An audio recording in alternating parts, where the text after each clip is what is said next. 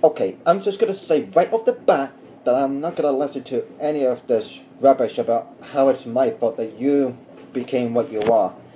Ever since you came to Dundee, you had this horrendous attitude. You are arrogant, rude, and to put it frankly, a, a great big sociopath. You had your chances to get your act together, but you denied those because all you cared about was domination. And you wanted to be on top of the ladder, the best out there, and everything all to yourself. Well, let me tell you something. That's not how life works, Mr. L Malevolence. You are nothing but a stuck-up red demon. And I'm supposed to believe that you weren't cheeky? Huh. He wasn't cheeky in the past. He isn't now. Ben Flame is a well-respected uh, hero. He is bold, brave, and will in no way let anything destroy him, uh, or kill him for that matter. He uses his powers to help others in need, and as well as his humor. And he knows what it means to be a, a an agent of Dundee. Something you never seem to know. In your point of view, perhaps.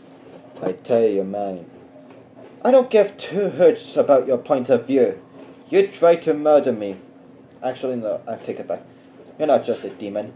You're a savage beast who is too evil to be a friend. Hmm. Actually, I have a good idea on, on who I am. I know. And you're too evil to be a friend, no matter the alternate dimension or timeline. Huh. Funny you'd mention that because there has never been an alternate version of myself where I was a friend.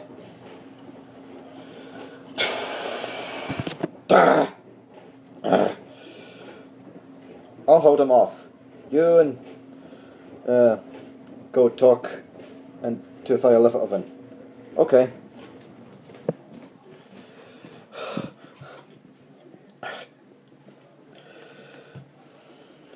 That Lewis Malevolence.